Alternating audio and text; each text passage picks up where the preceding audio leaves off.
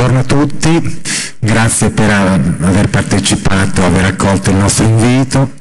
Vedo che l'argomento, il tumore della prostata, è un argomento che interessa più il pubblico femminile di quello maschile e ne parleremo durante le sessioni. Eh, ringrazio la dottoressa Mariani, la nostra direttrice generale, e il dottor Rossi, il nostro direttore sanitario, per eh, introdurre i lavori e eh, averci dato questa manifestazione e aver dato, insomma, sottolineato l'importanza del convegno. Quindi non faccio perdere tempo ai lavori, do la parola alla dottoressa Mariani per l'introduzione. Grazie. Buongiorno a tutti, grazie dottor Del Boca e grazie innanzitutto agli organizzatori, eh, il dottor Del Boca, il dottor Benecchi, i suoi collaboratori, eh, di, questo, incontro, di questo convegno, va a toccare delle problematiche che sono comunque eh, molto rilevanti in eh, questo periodo sociale di vita che affrontiamo, soprattutto tenendo conto dell'avanzamento dell'età media delle persone. Quindi eh, sì, taluni problemi potevano essere diffusi alcuni decenni fa, certamente oggi con l'allungamento della vita determinate problematiche aumentano nella popolazione maschile. Quindi noi donne come solidarietà, visto che lei l'ha detto prima, siamo ovviamente interessate alla salute dell'altra metà del cielo e quindi eh, affrontiamo insieme a voi eh, queste, queste problematiche. Problematiche che ovviamente come eh, unità operativa di urologia state affrontando e che determinate eh, possibilità che oggi la medicina ci mette a disposizione ovviamente sono eh, più facilmente individuabili, gli studi ce lo permettono e le diagnosi precoci aiutano decisamente nella cura di queste problematiche. Eh, oggi parlerete di appunto problemi eh, che riguardano la incidenza delle patologie prostatiche e poi l'approccio pluridisciplinare. Ecco, ovviamente eh, lo sapete tutti che le problematiche che riguardano la prostatite, l'ipertrofia prostatica benigna i tumori alla prostata sono problemi che toccano veramente dei numeri piuttosto importanti degli uomini. Gli studi, i dati ce lo dicono, quando parliamo di ipertrofia parliamo del più del 50% della popolazione maschile che eh, ha un'età compresa fra i 60 e i 69 anni che viene colpita da questa problematica. Eh, quando parliamo di tumore alla prostata i dati aumentano, si registrano circa, in Italia parliamo, 11.000 nuovi casi l'anno e tra questi ci sono circa 6.300 decessi, quindi eh, il 7% delle morti di tumore negli uomini e sappiamo che questo tumore è secondo soltanto al tumore al polmone e anche le cause di mortalità sono appunto la eh, seconda causa. Ecco quindi il problema è decisamente un problema rilevante, un problema importante e eh, vari studi ovviamente se ne stanno occupando. Noi nella nostra unità di urologia, e oggi questo vuole essere proprio un primo momento, certamente abbiamo presente tutto questo e sappiamo anche come le diagnosi, come dicevo prima, precoci aiutano su questo. Eh, certamente andando avanti nel tempo con eh, la sensibilizzazione anche sulla popolazione maschile, sulle visite, sui PSA, tutto questo è più facilmente identificabile e sappiamo anche che eh, tutto ciò può aiutare anche nella cura, eh, nella cura che quindi può essere sia l'intervento e certamente eh, nella nostra unità e quindi nella nostra azienda ospedaliera si vuole perseguire anche una via di mh, approcci meno invasivi e quindi si parla di eh, trattamenti endorologici, si tratta di eh, laparoscopia a livello flessibile, quindi certamente un approccio evoluto, un approccio avanzato. Ma sappiamo anche che c'è una possibilità, c'è una possibilità di fare prevenzione, perché a proposito di casistica si parla di tumore alla prostata, ma Alcuna, ehm, alcuni dati ci dicono che eh, ehm, l'incidenza è più alta per esempio nel nord del nostro paese dovuta ad abitudini alimentari. Quindi eh, anche il fumo ha il suo peso e quindi la prevenzione sui corretti stili di vita che tanto parliamo e che ovviamente è diffusa anche in campo oncologico, eh, i miei eh, collaboratori, la dottoressa Cafo, il dottor Passaracqua, che parliamo di oncologia, spesso sanno come questo eh, stile di vita corretto nell'alimentazione, nel non abuso di fumo e alcol aiuta molto sulla eh, prevenzione di questa, di questa problematica e quindi anche in questo senso la prevenzione ha un significato importante. Eh, cos'altro dire? Parliamo appunto di studi, parliamo di evoluzioni e allora ehm, si legge, eh, tra l'altro proprio questa mattina ehm, si, eh, sul, sulla stampa quotidiana c'è eh, qualcosa che avevo già riscontrato eh, per quanto riguarda l'approccio eh, sulla cura del, del cancro alla prostata perché proprio uno studio ci diceva, ci parlava di ricercatori che utilizzano hanno verificato l'utilizzo di un chip contro il cancro, il cancro alla prostata, quindi basato sulle nanotecnologie. E proprio questa mattina, come dicevo, si parlava di studi anche proprio al nostro livello del, eh, universitario del CNR di Siena sulle nanotecnologie ed ecco che quindi CIP ritorna eh, quindi del, del, micro, lo studio del micro applicato in medicina nelle terapie eh, tumorali. Eh, questo perché applicato eh, su determinate ehm, parti permette eh, di eh, la, rilasciare e di veicolare medicinali direttamente sulle parti interessate e quindi ha meno effetti collaterali anche sulla, eh, sul paziente. Quindi questo vuol dire che si studia sempre di più, si evolve sempre di più e quindi l'approccio decisamente è un approccio evoluto. Quindi io credo che mh, mm, quando, eh, quando si affronta questa materia eh, certamente è importante anche così confrontarsi su quelli che sono le, eh, le evoluzioni nell'ambito degli studi. È vero che quando si parla di eh, evoluzioni talora si trovano anche cose abbastanza così ehm, che ci attirano l'attenzione, io ne ho trovata una che parla di eh, contrastare il tumore alla prostata con eh, il Kerry e quindi sottoposti i pazienti a una cura particolare eh, con questa eh, particolare eh, sostanza. Allora,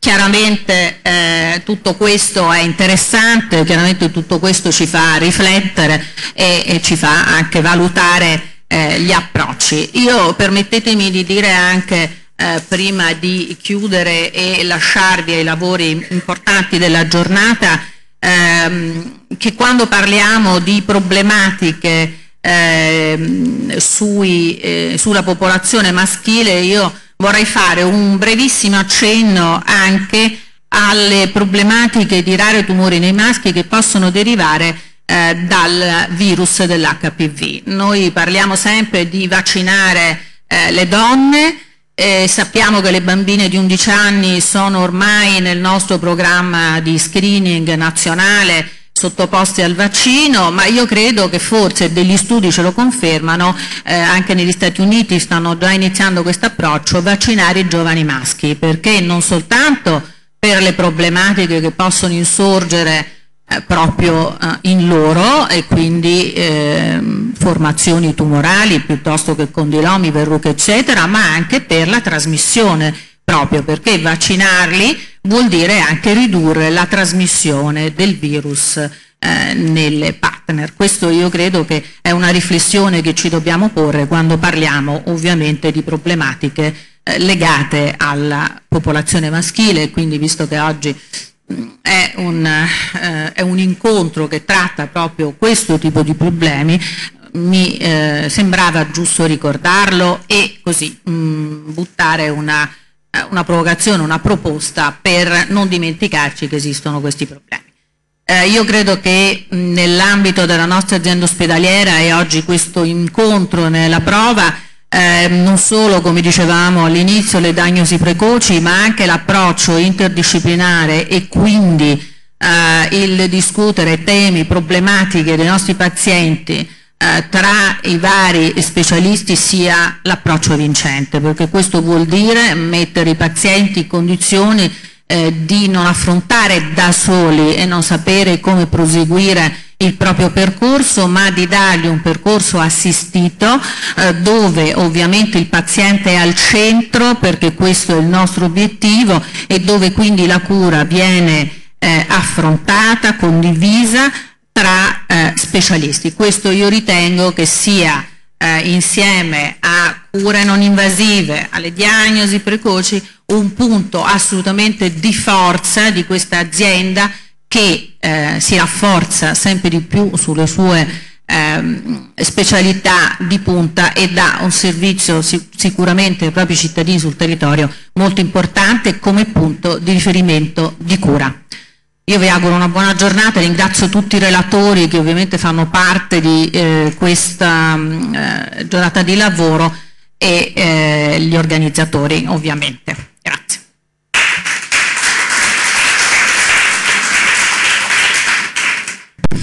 Ecco, ringrazio eh, la, la, dottoressa Mariani per questa eh, dotta relazione e mi complimento anche perché è riuscita con molta acutezza a anticipare un po' a sintetizzare gli argomenti che verranno poi sviluppati successivamente. Eh, quindi iniziamo i lavori, grazie ancora per la gentile partecipazione. Allora, ehm, entriamo nella, nella, scaletta organizzativa del convegno. Um, io mi limito a fare solo una, eh, accennare solo la, la, le problematiche che verranno sviluppate, vi rubo due minuti, due minuti di numero, eh, tanto per definire l'argomento del quale stiamo parlando. Eh, il tumore della prostata, come ha già accennato eh, la direttrice, è, del, è una patologia sociale, ha un'incidenza epidemiologica estremamente diffusa ed è il secondo tumore per diffusione dopo il tumore del polmone, ma diventa il primo dopo i 70 anni di età. Eh, in Italia c'è una stima di circa 23-24 mila ca nuovi casi per anno e ehm, eh, praticamente un uomo su 16 eh, svilupperà un tumore della prostata nel nostro paese. Questa incidenza pare che sti si stia raddoppiando negli ultimi anni. Eh, ci sono differenze epidemiologiche notevoli tra eh, il continente e un altro continente e questo fa pensare che lo stile di vita, le abitudini alimentari e, e quindi anche argomenti di, legati alla, alle abitudini di vita possono avere un'incidenza nel determinare il tumore della prostata. Ehm, chi è a rischio per tumore della prostata? Innanzitutto il fattore di rischio principale è l'età. Il tumore della prostata è una neoplasia che predilige le età avanzate, eh, specialmente dopo i 65-70 anni. Ehm, è un tumore che ha delle manifestazioni diverse, varie manifestazioni del tumore della prostata. Innanzitutto c'è il tumore clinico, quello che noi eh, scopriamo facendo la visita e vari accertamenti inerenti alla visita. C'è il tumore incidentale che è quello che scopriamo quando, abbiamo, quando operiamo una prostata benigna, un adenoma prostatico, troviamo, il patologo ci segnala che ci sono dei focolai di tumore della prostata e questo si chiama incidentale. C'è il tumore occulto che è quello che noi non conosciamo ma eh, viene scoperto perché il paziente magari ha un crollo patologico di una vertebra oppure ha una, eh, una metastasi a un osso e quindi si scopre successivamente che l'eziologia era dovuta a un tumore della prostata. E poi c'è la forma molto diffusa che è quello latente, che è il tumore della prostata che viene scoperto se il paziente, se il soggetto eh, viene sottoposto ad autopsia dopo la morte. Quindi il eh, tumore della prostata, oltre a quelli che riusciamo a diagnosticare, è una patologia molto frequente. E questo sottolinea però che a fronte di questa alta frequenza non c'è un'aggressività biologica come c'è per altri tumori, quindi in molti casi può essere considerato come un ospite, può essere considerato um, una che non, una malattia che non avrà un'evoluzione successivamente. Eh, e anche questo fa parte un po' della, del fascino dell'argomento perché è, un è, una malattia che richiede molte conoscenze, molta cultura anche per discriminare i pazienti che dovranno essere trattati e quelli che potranno essere solo sorvegliati. Eh, mi riferivo un attimo all'oziologia, dicevo che l'età è uno dei primi fattori di rischio, sappiamo poi che in qualche modo la prostata è un tumore che ha eh, una dipendenza dagli ormoni, oggigiorno ci sono molte, eh, molto affascinante il campo di sviluppo in, campo genetico perché ci sono le modificazioni di alcuni geni che sono peraltro già stati identificati eh, aumenta di molto l'incidenza del tumore della prostata.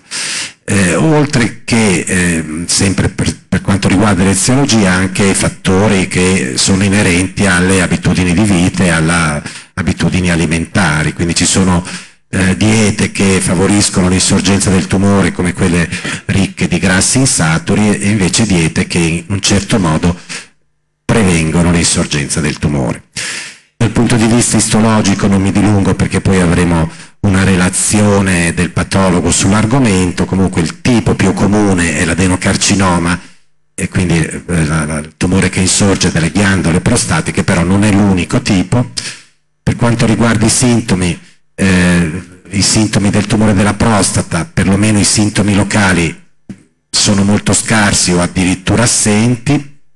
e quindi abbiamo già concluso l'argomento. La diagnosi invece, si, io anticipo un po' gli argomenti che poi verranno sviluppati, vi faccio solo una specie di griglia.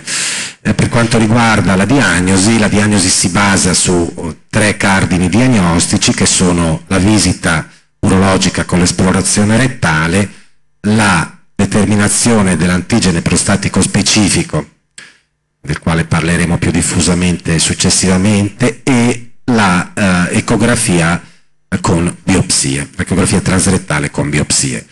Una volta fatta diagnosi dovremo in qualche modo stabilire l'estensione di malattia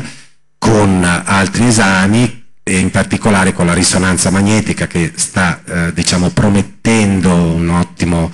ruolo diagnostico sia nell'identificare la malattia che nel determinarle l'estensione eh, e poi dovremo fare un bilancio di estensione attraverso la eh, scintigrafia ossea o ancora meglio attraverso la PET oggigiorno. Ehm, una volta che abbiamo diagnosticato il tumore gli, gli dovremo dare una casella, gli dovremo, dovremo vedere se il tumore eh, rientra nelle categorie a basso, intermedio ed alto rischio e questo lo possiamo fare attraverso la, la, la, diciamo, la combinazione dei tre fattori più importanti, cioè il valore del PSA, lo stadio clinico che abbiamo fatto attraverso le indagini di immagine e il, il grading tumorale, cioè il tipo biologico di tumore. E quindi una volta, scusate, una volta stabilito eh, che tipo di tumore ci troviamo davanti, eh, stabiliremo qual è la cura più appropriata come dicevo eh, all'inizio, eh, il tumore della prostata non sempre deve essere trattato, ma possiamo in alcuni casi, per esempio se il paziente è anziano, se il tumore si rivela biologicamente poco aggressivo, eh, instaurare un programma di eh, vigile attesa o di sorveglianza attiva. Eh, nelle forme organo confinate in pazienti che hanno un'aspettativa di vita maggiori di 10 anni e che accettano, questo è importante dirlo, le eventuali complicanze dell'intervento, eh, ehm, la, la, terapia più eh, diffusa è l'intervento chirurgico, la prostatectomia radicale che si può fare sia a cielo aperto sia con tecniche laparoscopiche o robotiche, anche se oggigiorno queste ultime non hanno dimostrato vantaggi rispetto alla chirurgia tradizionale che viene considerata dalle linee guida internazionali come il gold standard. Un'altra terapia molto eh, praticata e molto diffusa, di cui poi parlerà la dottoressa Cafaro, la radioterapia a fasci esterni, che si può fare sia con ehm, eh, spalmando diciamo, il trattamento in varie sedute, sia con l'immissione nella prostata di semi radioattivi ehm, e quindi in una seduta sola. Eh, altre tecniche meno diffuse sono sempre per le forme locali, sono gli ultrasuoni focalizzati, la crioterapia, cioè il raffreddamento della prostata e questo per quanto riguarda le forme localizzate. Nelle forme avanzate invece un cardine terapeutico è l'ormonoterapia, sappiamo che il tumore della prostata, come ho accennato, è, una, un tumore endocrino dipendente, quindi l'ormonoterapia ha rappresentato e rappresenta il eh, momento terapeutico più eh, diffuso, più utilizzato anche se oggigiorno ci sono studi promettenti anche con chemioterapici, con eh, farmaci di questo tipo,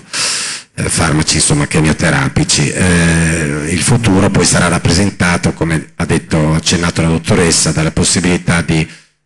di prevenzione con i vaccini o di farmaci di altre categorie come i farmaci angiogenetici, anti-angiogenetici. Eh, io um, così, ho ho fatto una breve introduzione, spero di non essere stato troppo confusionario perché quando si vuole raggruppare tutto in, pochi, in poco tempo si rischia di, eh, di, di, di non essere chiari.